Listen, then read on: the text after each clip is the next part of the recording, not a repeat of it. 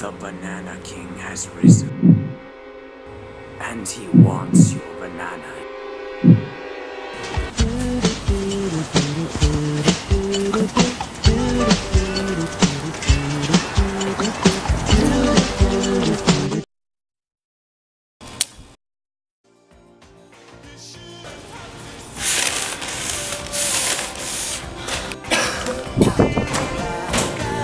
You killed my father!